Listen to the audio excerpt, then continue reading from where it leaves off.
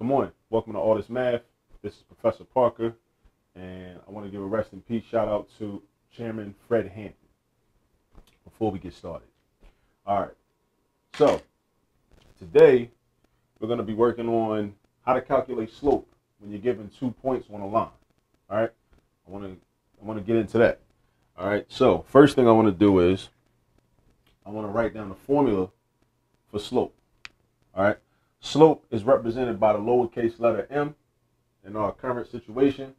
When we use the slope intercept formula, which is y equals mx plus b, that m in the slope intercept formula is equal to the rise divided by the run. Now, what does that mean? And that's equal to something else. But let me pause right here and talk about what rise over run means.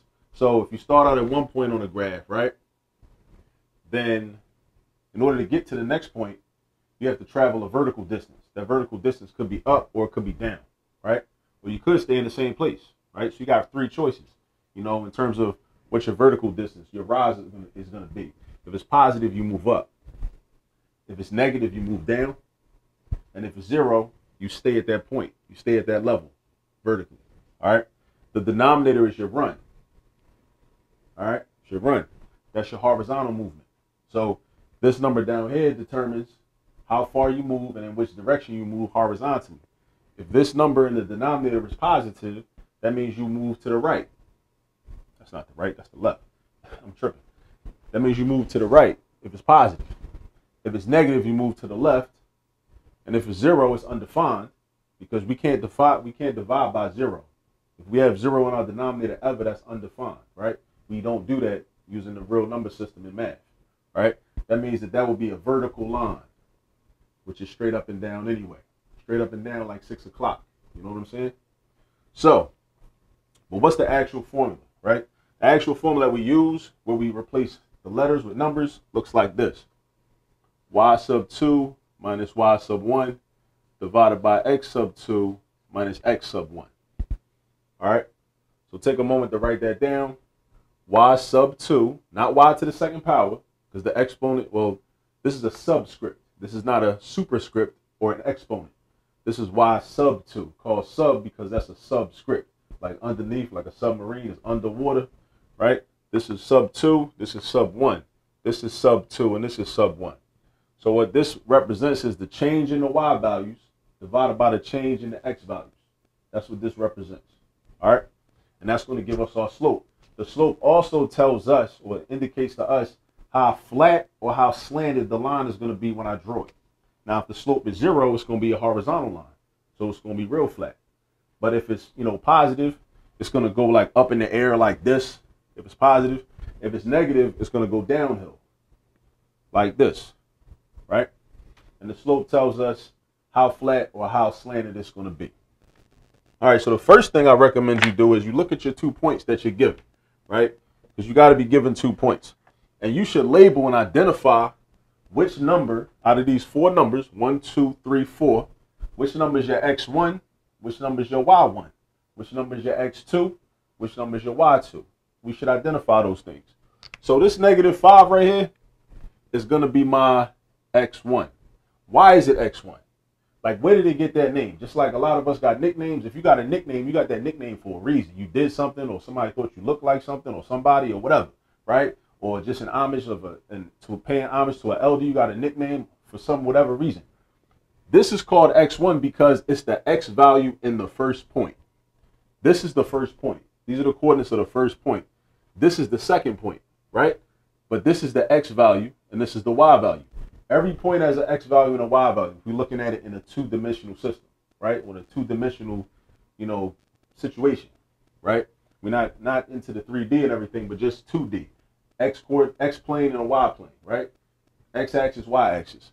So this is the first number, or the in the first point, the x value. This negative four is the first y, the first y, because it's the y value in the first point also. Then over here, this is the second point. This is the second point right here. The second point. This is the x value in the second point. This six is the y value, also in the second point. So this negative 5 is the x value of the first point, hence x1. this negative 4 is the y value in the first point. Hence, y1. That's why I got that name. This negative 2 is the x value in the second point. Hence, x2. This positive 6 is the y value in the second point. Hence, y2. All right? So I say that should be your first point. Well, your first step, I mean. Your first step is to just label these four digits, right? When you get the hang of this, you might not have to take the time to just label. You might just be able to take the numbers and just throw them right into the formula, all right? But until you get to that point where you have that level of proficiency, I highly recommend you label each of these numbers x1, y1, x2, y2. All right. Now, since I know what my values are, I'm just going to throw them into the formula. So now I got y2, which is 6. I write my minus sign. Y1 is negative 4. Now, this is something I want to I want to pay some pay pay um some particular attention to because a lot of students they don't like to write two negative signs back to back for some reason. They don't like to write it. They don't like to do it. But the formula already has a minus sign in it. But if your y1 is negative, then that means you need the, another minus sign or another negative sign. So do this. 6 minus negative 4. All right? Don't just write 6 minus 4 because this is not a 4. This is a negative 4. The formula already has a minus sign in it. In this case, the number has a minus sign in it or a negative sign. And that's another thing. Minus signs and negative signs are the same thing. They represent the same thing. All right? So that means you need two minus signs or two negative signs. All right? And when we actually simplify that, that's a double negative, and the double negative becomes addition every time. It doesn't become subtraction, it becomes addition. Minus minus means addition, it becomes addition. So in this numerator, what we're going to end up doing is 6 plus 4. All right, now go to the denominator. Put the x's in there. My x2 is negative 2. I write my minus sign. My x1 is negative 5. Again, we got the same scenario. You need to have both minus signs. So we got negative 5 right there. So now, we got all our numbers in the proper places. Now it's time to actually do the mathematics and do the calculations. It's time for that now. All right. So this double negative becomes addition. So that becomes 6 plus 4. And I'm to just show every step instead of before instead of just going straight into the answer. This negative 2 minus negative 5 becomes negative 2 plus 5. All right? Again, double negatives, meaning minus signs in between the numbers. In between the numbers, not this negative sign. This negative sign has nothing to do with a double negative in this case, right? Two negative signs becomes addition. Negative 2 plus 5. 6 plus 4. Now, go back to our elementary school math. 6 plus 4 is 10. So our numerator is 10. This negative 2 plus 5 Negative 2 on the, on the number line, you start at negative 2. You're adding, so you move it to the right, and you're adding 5. So you're going 5 spaces to the right. That gives me 3. Now, what this means is my slope is 10 over 3. Now, I know it's 10 over 3 because I can't reduce this. You should always try to reduce fractions no matter what. But in this particular case, we can't reduce this because 10 and 3 don't have a common factor besides 1. And if I divide each number by 1, I still get 10 over 3. Now, if I was actually using this to try to graph and try to draw a line, that means I could start at any point on the line, and this positive 10 means that I need to, from that point, I need to move up 10 spaces. This positive 3 in the denominator, again, this is my run. This is my run. The rise was my 10, so I go up, I rise up 10 spaces. My run is positive 3. So I go to the right 3 spaces, right? So if my point was here, meaning like this how I would look, right? If my point was here, my first point, I would go up 10 spaces and then go over like three spaces and be right there. And then I would go up 10 spaces and go over like three spaces and be right there. And then I would draw a line through those two points. I mean, that's that's just quick and dirty, but actually three points. That's quick and dirty, but I just want to I just want to show you an idea of how you actually use the slope to draw a line, right? These two numbers, their directions. The slope is a set of directions. The slope is not a point. A lot of students confuse that. They think that the slope is a point just like the y-intercept is an actual point or a location.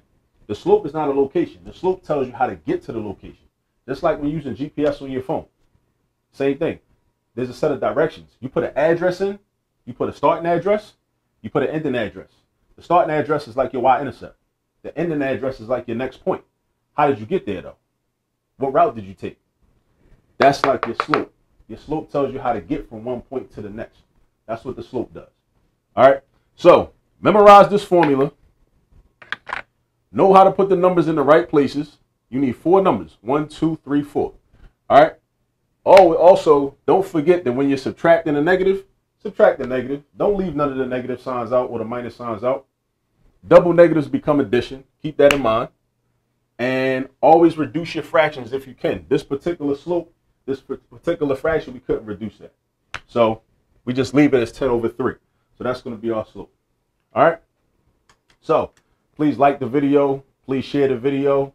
Send it to somebody in the text or something like that. Um, put it on social media, whatever. You know, I just want people to learn math. That's it. I just want people to be able to come here, learn math. If you're in your school or wherever you're at and you're not learning it, you just don't really get it, come through. Come to all this math. That's all I'm saying. All right. So subscribe to the page if you haven't already. Tell some other people about it. And as usual, always remember there's all this math all around you. Peace.